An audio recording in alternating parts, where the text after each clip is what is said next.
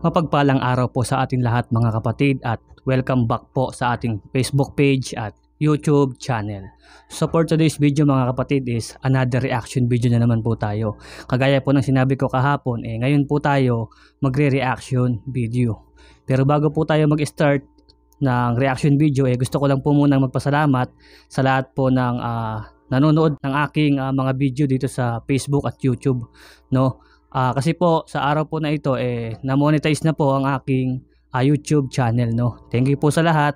At naway uh, kung gusto niyo po ng mga ganitong uh, video na meron po nagre-reaction video eh uh, i-subscribe niyo na po ang aking channel at gayon din po ang uh, pinapanood natin na video no. I-subscribe niyo rin po sila. So ang gagawin po natin ng reaction video ay eh, galing pa rin po kay sa iyong araw. So ito na siguro yung last na gagawin natin video kay sa iyong araw bago maghahanap ulit tayo ng ibang uh, gagawa ng reaction video. So ang title nito ay Hindi na mapipigilan pa Pilipinas, USA, Japan nagsama-sama para patumbahin ang persa ng China. So disclaimer lang po mga kapatid ha, ah. ito po ay isang reaction video lamang po at hindi ko po ito pinatotohanan at hindi ko rin po ito pinasisinungalingan. So kung so bahala na po kayong mag-research kung ano man po yung uh, totoo, no? Kasi ako, magre-reaction video lang, no? Nasa inyo na po yan kung paniniwalaan ninyo or hindi. Pero ako, eh, magre-reaction video lang po. So, simulan na po natin to. Wala naman tayong hinihintay na, no? Play na natin yan. Let's go! Pilipinas, Estados Unidos mm-hmm. at Japan ay sobrang pinapalakas nito ang pagkakaalyansa. Mm-hmm. Isang trilateral Dami. na pagsasanid puwersa para mas palakasin ang depensa at seguridad sa ating bansa lalong higit sa West Philippine Sea mm-hmm. kontra sa China. Isa ito so na, ito naman kasing ano West Philippine Sea talaga namang uh, parang talagang sobrang init ng ano dito tension talaga. Kung nanonood tayo ng balita, 'di ba?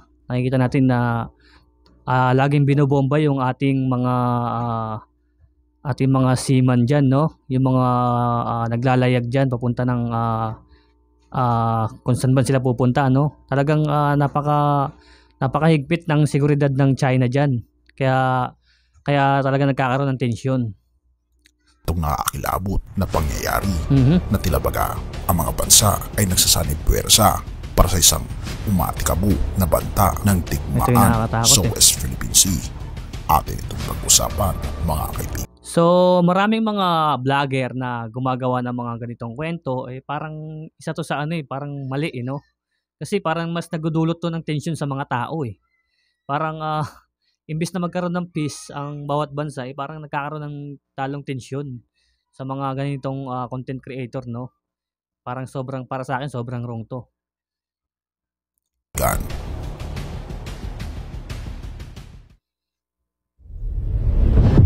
Kamakailan lamang ay natampok natin ang patungkol sa pagsanib pwersa ng Japan at Korea sa pagpasok sa teritoryo ng Korea, ng China at Russia na tilabaga. Makikita natin ang pagsusumikap nila upang angkinin ang mga teritoryo sa West Philippine Sea. Ngunit ito naman. So, uh, stop lang muna tayo saglit, no? Uh, medyo yung Japan ang saklap ng nangyari, no? Kakapasok lang ng taon tapos uh, Lindol, no? Lindol tapos uh, tsunami ata yun, tsaka sunog, no? Mga aeroplano. Medyo uh, hindi maganda yung pasok ng taon sa kanila.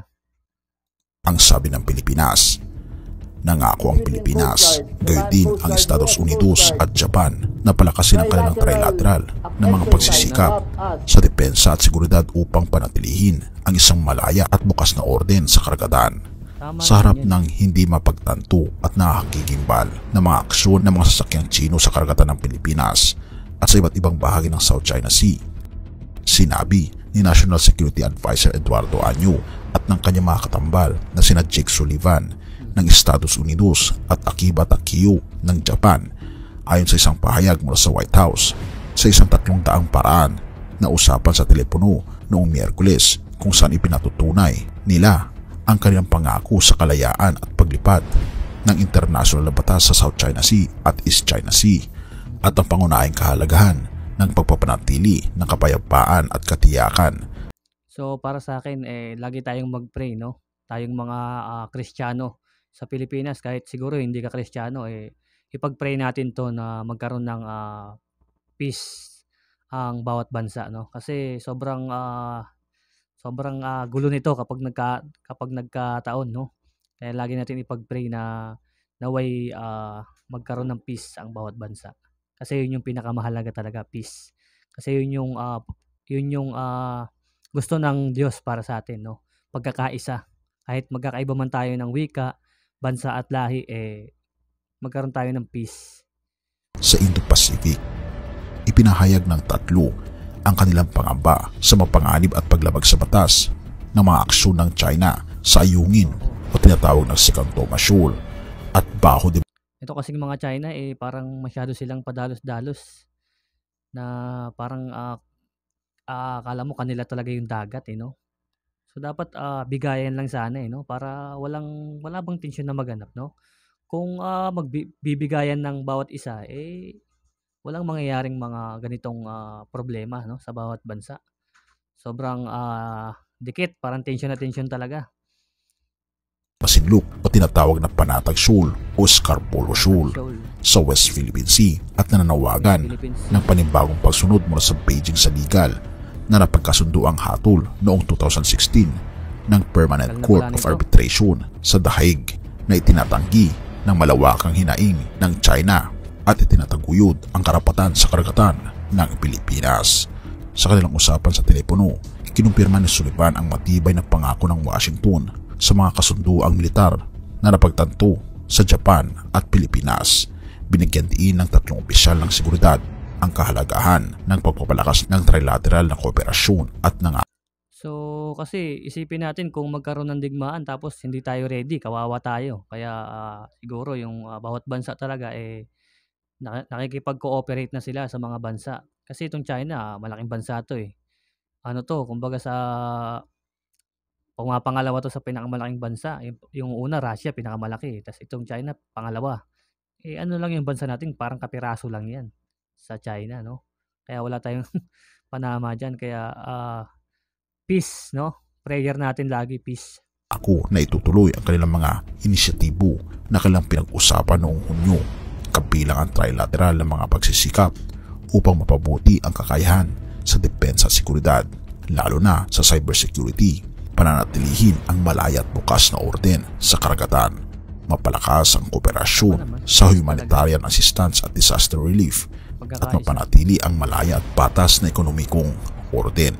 Kinumpirma ng tatlong NSAS ang kanilang desisyon na magkaroon ng masusing trilateral na coordination sa mga darating na buwan upang isulong ang kanilang mga iisang interes sa malaya at bukas na Indo-Pacific, sabi pa sa pahayag mula sa Washington. Sa kabilang dako, pinag-usapan ni US Defense Secretary Lloyd Austin III at kanyang katambal na si Gilberto Teodoro Jr. sa telepono noong Miyerkules ang mapanirang mga aksyon ng China noong nagtaang linggo kabilang paggamit ng water cannons at pagsasagawa Siguro alam naman to ng ano ng ah, ng president ng China no, yung mga ah, namamahala sa China. Alam din naman siguro nila yun yung ginagawa ng China. Tingin ko utos din yan eh no. Parang ganun talaga kaya ah, konting ano lang, konting ah, dikit lang ng barko, ibobombahin agad nila ng tubig para lumayo. Minsan nahabulin pa nga eh. Yan yung napapanood ko sa balita eh. panganib na maniobra upang pilitin ang mga sasakyang pandagat ng Pilipinas sa Ayungin Shoal at Bao de Masinloc na nasa loob ng exclusive economic zone ng Pilipinas. Ipinabot ni Austin ang suporta ng Estados Unidos sa depensa ng Pilipinas sa kanyang soberanyang karapatan alinsunod sa international na batas. Ipinagtanggol niya ang 1951 Mutual Defense So, ang law kasi na ginagamit dito, yung inter- international law. Eh, yung China ata, meron silang sariling law eh. Kaya hindi sila sumusunod sa ah, international law, no? Yung ah, buong ah, buong mga bansa, no? Meron silang sariling batas about sa ganitong ah, pamamalakad. sa Pilipinas na sumasaklaw sa mga sandataang lakas, pampublikong sasakyan at eroplano ng parehong bansa kahit saan sa Pacific at South China Sea. Binigyang pugay niya ang profesionalismo ng Armed Forces of the Philippines sa harap ng labag sa batas na kilos ng China. Pinag-usapan ni na Austin at Teodoro ang kamakailang bilateral na aktibidad sa karagatan ng Pilipinas sa South China Sea kasama ang Estados Unidos at Australia na kung ating mapapansin, isa itong napakalaki na hakbang ng Japan, United States at Pilipinas upang sa ganun ay mahikayat din ang iba pang mga bansa na sumanib at makipagtulungan kontra sa alyansa ng China at Russia na sinusubukang So angkinin ito naman talaga yung the best eh, no? Na bawat bansa eh magkaroon ng pagkakaisa patungkol sa ah, ganitong usapin, no? Upang nang sa ganun ay maiwasan yung ah, maiwasan ba yung girian, no? Kundi magkaroon ng pagkakaisa. Ngayon kapag nagkaroon ng pagkakaisa, eh magkakaroon ng ah, kapayapaan yan, peace. ang mga teritoryo na sana ay respetuhin nila na ito ay pagmamayari ng mga bansa katulad ng Pilipinas. Tama. Pangalawang Timoteo 1 verse 7 Sapagat hindi tayo binigyan ng Diyos ng Espiritu ng Katuwagan, kundi Espiritu ng kapangyarihan, pag-ibig at disiplina sa sarili. Kaibigan, ito ang binibigay sa atin ng ating Panginoong Diyos So upang ito talaga yung pinaka the best na ah, paniniwala dapat sa Bible, no? Yung ah, meron tayong dip- disiplina sa ating mga sarili. Kasi kapag wala tayong ganyan, eh lahat ng mga bagay na pwede natin gawin, magagawin natin kasi wala tayong disiplina sa sarili natin eh. Kaya kung meron tayo nun, talagang maiiwasan natin yung mga bagay-bagay na hindi dapat gawin, no? Kasi meron tayong disiplina sa ating sarili. Yung kapangyarihan natin na galing sa Panginoon, eh, peace, pag-ibig, no? Disiplina at pagmamahal sa kapwa. tayo ay magkaroon ng mapayapa na pamumuhay. Napakaingatan natin na wag nawa makipag-away at ipanalangin natin na wag nawa magsimula ang digmaan sa West Philippine. Sea. Purihin ang ating Panginoon. Diyos at salamat kaibigan sa iyong panonood. Tayo manalangin. So, ah, ito lang po yung ah, reaction video natin sa araw na ito, no? No, naway ah, ang bawat bawat bansa, bawat lahi at wika eh magkaroon po ng ah, pagkakaisa talaga, no? Magkaroon ng solid na pagkakaisa upang nang sa ganun eh maiwasan po talaga yung mga ganitong ah, problema. Kasi hindi po to biro eh kapag ka talagang may nangyari na na hindi maganda magtutuloy-tuloy po yan. Kaya dapat hanggat hanggat kaya pang ah, idaan sa usapan no? Sa magandang usapan mapag-usapan na ng maayos upang nang sa ganun eh hindi na tayo umabot sa ganong punto. Kasi ang daming madadamay talaga promise. Kaya ah, lagi tayong mag-pray no tayong mga nakakanood ng mga ganitong balita no ipag-pray natin agad na ah, magkaroon ng peace at usapang ah, pangkapayapaan pangkalahatan no so ito lang po ang ating reaction video sa araw na ito Ah, bago po tayo magtapos, eh, gusto ko lang po i-shoutout si 12am Photography at si ah, Raymond San Jose, no? Shoutout sa iyo, bro.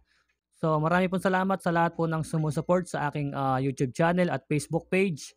Naway ah, marami po tayong mapulot na aral at maging pagpapala po ang ang ang ginagawa natin sa bawat isa. So, ito lang po ang ating reaction video sa araw na ito. God bless po at paalam. Hanggang sa muling pagkikita.